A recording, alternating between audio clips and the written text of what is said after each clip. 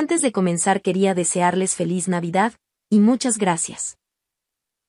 Gracias a su apoyo he podido cumplir varias de mis metas de este año, y espero sigamos con la misma fuerza en el siguiente. Por mi parte yo lo daré todo como siempre, para traerles todo el arco 6 resumido, y lo más pronto posible.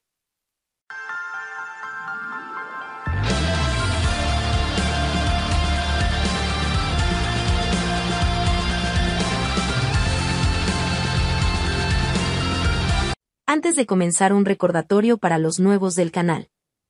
Esta es una cadena de videos en los que resumo toda la novela web de Recero, si eres nuevo te recomiendo ir al link de la descripción donde hay una lista con todos los resúmenes de los capítulos en orden. También les recuerdo que ya tenemos activas las membresías del canal, con la cual puedes tener acceso a insignias y emojis más chidos, además les recuerdo que hago en vivo casi a diario, en donde leemos la novela web, y más materiales de recero como spin-offs o what ifs. Nos habíamos quedado con el Team Subaru en la mansión Rosval, donde habían reclutado a dos más para su viaje. Todos estaban listos para partir, y Anastasia habla un rato con Subaru, y le dice que tiene muchos problemas por tratar de complacer siempre a las mujeres, pero él le contesta no me hables así maldita bruja. Y ella le dice, vamos, no actúes así, sino parecerá que mi creadora borró mis recuerdos solo para molestarte. Aquí recuerden que Anastasia sigue poseída por el espíritu de su bufanda Equidna, así que la que habla en el cuerpo de Anastasia es Equidna Zorro. En ese momento Rosval llamó a Subaru y habló en voz alta diciendo, quiero que vigiles a Ram.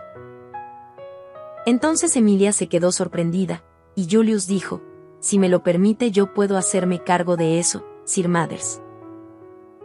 No desconfío de usted, caballero Julius, sin embargo tengo que decir que esto es un asunto de vida o muerte, por eso estoy hablando para que usted también me escuche.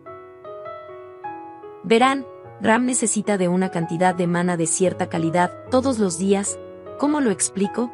Ella es del clan Oni. En ese momento Julius se sorprendió dado que sabía la historia de ese clan de gente demonio muy poderosa, el clan Oni, además se sabía que ellos habían sido erradicados. Y Subaru lo miró y dijo, ¿es realmente tan sorprendente eso? Luego Julius dijo, ¿no habían sido eliminados? Y Rosval dijo, efectivamente pero Ram es la única sobreviviente, perdón, Ram y Rem lo son. Y Subaru se estaba molestando, pero se contuvo y siguió escuchando el intercambio de palabras. Entonces Emilia expresó, ¿hay alguna razón por la cual ese clan desapareció? Y Rosval dijo, no se preocupe, Emilia Sama. La caída del clan Oni fue algo inevitable, es selección natural. Es el resultado de que ellos no se adecuaron al flujo de los tiempos y se aferraron a viejas costumbres. Según las palabras de Rosval pareciera que el clan Oni tenía costumbres muy malas y andaban metidos en algo que hizo molestar a mucha gente, por ello los eliminaron. Bueno a lo que iba dijo Rosval. Ram no posee una parte muy esencial del cuerpo de los Onis, ella no tiene un cuerno, y normalmente esto reduce sus capacidades en la vida diaria, pero hay otra cosa que es más peligrosa en este momento. Y entonces Julius dice, ya veo, ya entendí lo que sucede. Sucede que la mayoría de razas tienen un punto de apoyo para soportar el poder ya sea físico o mágico. En el caso de los Oni es su cuerno, pero si el individuo no lo tiene, Debe haber algo que reemplace esa función. Y Rosval dijo, excelente, veo que el hecho de haber perdido tu nombre, te ha sentado bien. Y hasta Emilia se dio cuenta de lo que pasaba, pero Subaru no entendía nada. ¿El para qué cosa de quién? Entonces le explican que necesitan que alguien deposite maná en el cuerpo de Ram todos los días. Y Julius dijo, me encantaría ser de utilidad, Sir Mathers, pero aunque mis cualidades me permitan usar maná de todos los colores, debo decir que en mi estado actual no puedo hacerlo. En ese momento los espíritus de Julius se manifiestan y él dice, me explico, ellos están conmigo pero no recuerdan el contrato que hicimos, de este modo yo no puedo usar ese tipo de maná, con estos espíritus que olvidaron mi nombre. Y Rosval le contesta, ya veo, es una lástima. Entonces Emilia interrumpió diciendo, Déjenmelo a mí, en ese instante invocó sus espíritus azules. Estos son un poco diferentes a los de Julius, pero también son espíritus, y puedo tomar prestado su maná de diferentes colores también.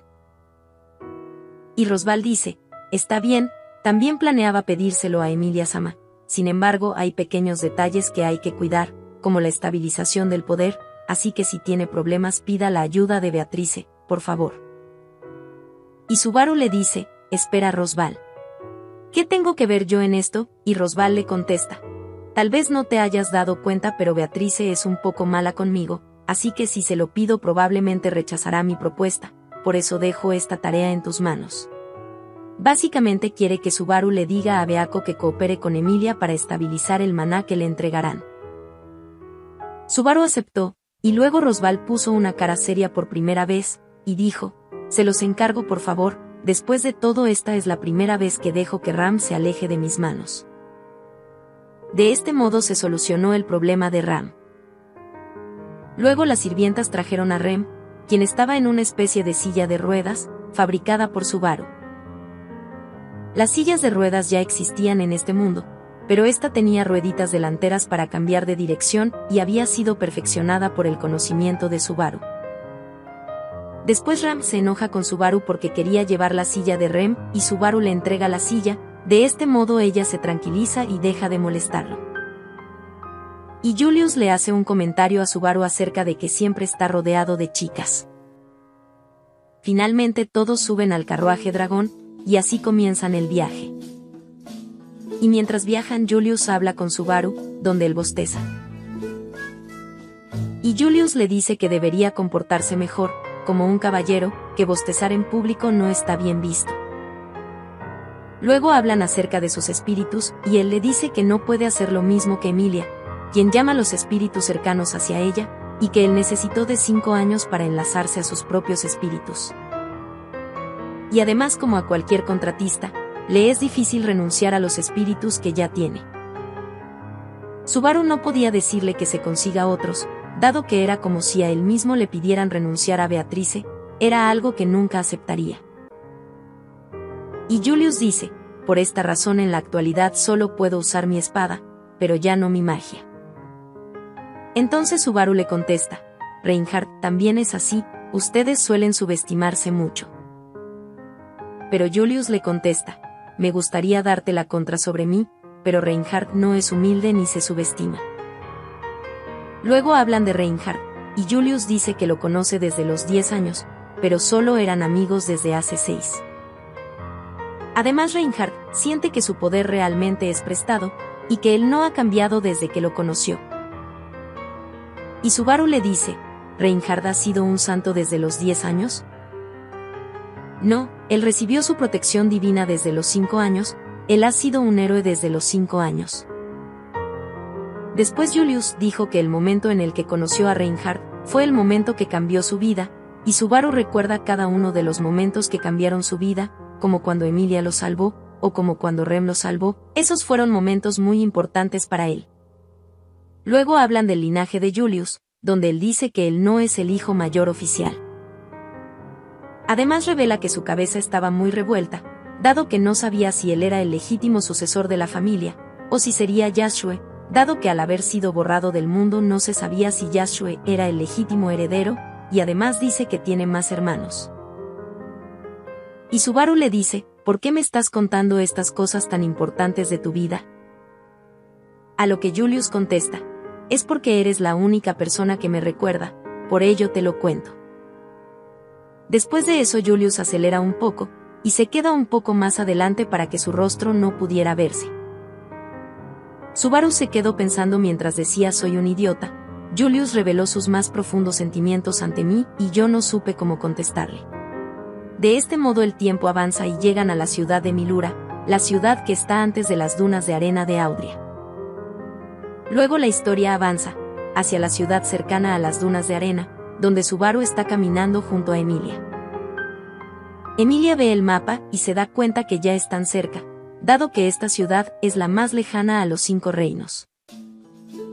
Luego caminan por el lugar con capas que tenían cubrebocas para que la tierra del lugar no invada sus bocas, dado que a veces corría viento que levantaba la arena, lo normal para un desierto. Allí eligen entrar a una posada y alojarse allí, donde el dueño del lugar les dice que no deberían salir durante la hora de la arena. Sin embargo, ellos habían salido ignorando las advertencias, dado que ellos iban a ir a la atalaya del sabio, así que consideraban esto un simulacro del ambiente al cual enfrentarían después.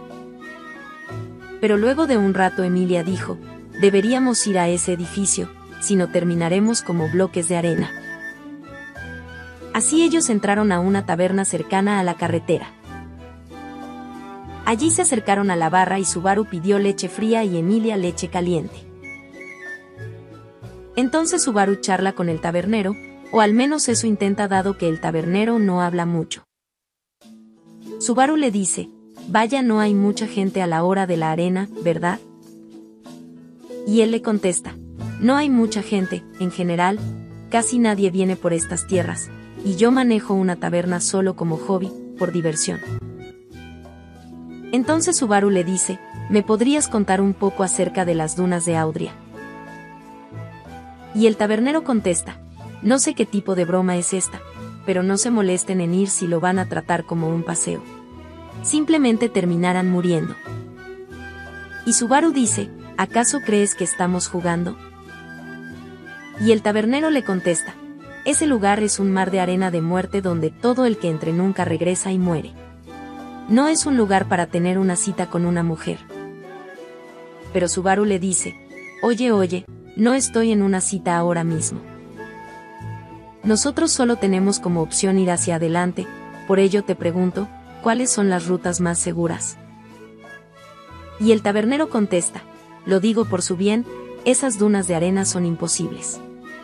El miasma de la bruja se desplaza por la guarida de Mabestias, y no puedes acercarte a la torre que mira el futuro.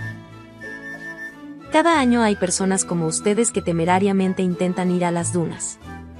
Ellos aspiran a alcanzar la torre del sabio en el mar de arena, pero nadie la ha alcanzado.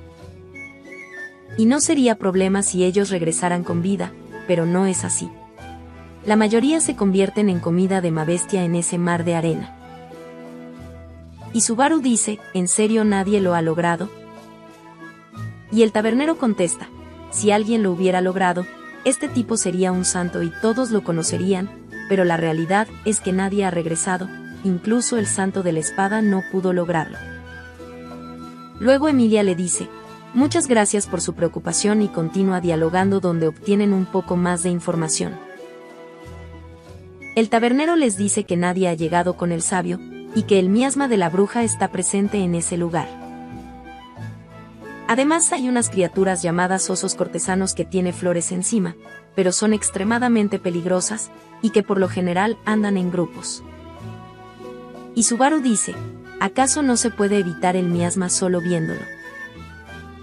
Pero Emilia le dijo, el miasma no se puede ver, pero es maná contaminado que puede influir negativamente en los cuerpos de las personas. No puedes tomar el miasma a la ligera, el maná fluye con naturalidad en el cuerpo, pero el miasma toca tu puerta y te corrompe desde adentro. Y el tabernero dijo, lo que dice la señorita es correcto, pero debo añadir algo. El miasma de las dunas es peor porque arruina la comida y el agua de los viajeros. Y Subaru dice, ¿quieres decir que si lo comes te envenenas? No exactamente, si lo ingieres te volverás loco inmediatamente, contestó el tabernero mientras ponía una cara muy fea recordando el pasado. Finalmente Emilia terminó su vaso de leche y colocó una moneda en el mostrador, luego ambos dieron las gracias y salieron del lugar. Luego de caminar un rato Emilia le dijo a Subaru, Subaru a ese sujeto le faltaba una pierna. Y Subaru le contestó, no me di cuenta. Después fueron a la posada donde se reunieron con Anastasia y Julius. Allí Emilia dice, parece que las mayores preocupaciones son las mabestias y el miasma. Beatrice y yo podemos intentar lidiar con el miasma con espíritus menores, pero tendremos que depender de Meili en cuanto a las mabestias y Anastasia dice, tendremos que adecuar los carruajes para viajar en la arena, y luego les cuenta que fue con los señores feudales para firmar documentos donde declaran que están aquí bajo su propia responsabilidad, dado que ellas son candidatas a la selección real. En pocas palabras son importantes, y si murieran se culparía a los líderes del lugar. Y luego de eso el viento se despejó y se podía ver a lo lejos una torre en medio del desierto. Era una torre tan grande que no importaba la distancia a la que estaba de la ciudad, esta se podía ver claramente. Después de eso usaron dos días para descansar, reunir información y preparar los carruajes para el viaje por el desierto. Entonces ellos cambiaron sus dragones de tierra para viajar sobre dragones adaptados al desierto, que se veían como triceratops o anquilosaurios, algo parecidos al dragón de Otto. Y Subaru preguntó si su amado dragón Patresque podría viajar, a lo que Julius le dijo que no habría problema con Patresque, pero que su dragón sí se quedará en la ciudad. Esto se debe a que Patresque es un dragón antiguo que tiene las afinidades adecuadas para todo terreno, en cambio el dragón de Julius es un simple dragón que no ha evolucionado para viajar por el desierto. Luego Subaru le pregunta a Ram si está bien, pero esta le dice que no hay problema. Y Emilia también le expresa que está preocupada por ella, pero Ram les dice que lo han hecho bien, pero Rosval es mejor, así que se entiende que Ram no está al 100%. Después Subaru dice, estamos preocupados por ti, así que si algo malo te sucede, dínoslo. No trates de ocultar cosas y engañarnos. Pero si haces cosas como esa, te ayudaremos incluso si no te gusta. Y Emilia dice, ese lado de Subaru me gusta mucho. Así que Subaru le dice, ¿qué pasó Emilia? ¿Acaso te volviste a enamorar de mí? Y Ram se enoja un poco y dice, no hables así cuando Rem está durmiendo frente a ti, enemigo nocivo de las mujeres. Está de más recordarlo, pero solo por si acaso recuerden que Subaru quiere que Emilia sea su primera esposa y Rem su segunda, por eso Ram se enojó llamándolo enemigo de las mujeres.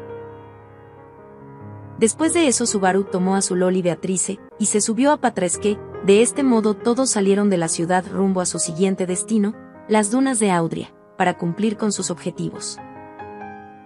Y así terminamos el resumen de los primeros capítulos del 5 al 8 del arco 6.